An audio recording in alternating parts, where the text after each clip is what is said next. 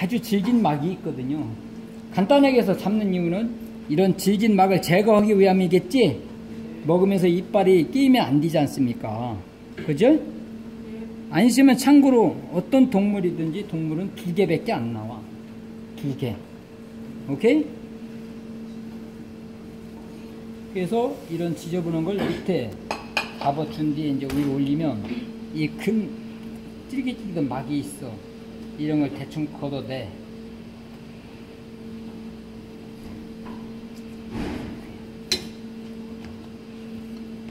이 안에도 보면 이렇게 있거든요.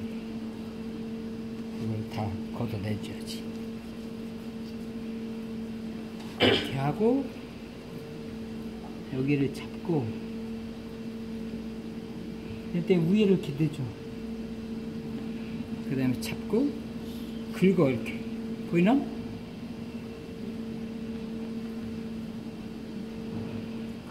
이거는 잡아서 위로 올리고 칼은 밀어주고 오케이?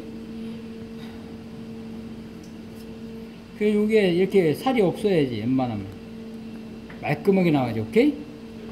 그래서 다 뜯어먹으면 안 되잖아 비싼 안심인데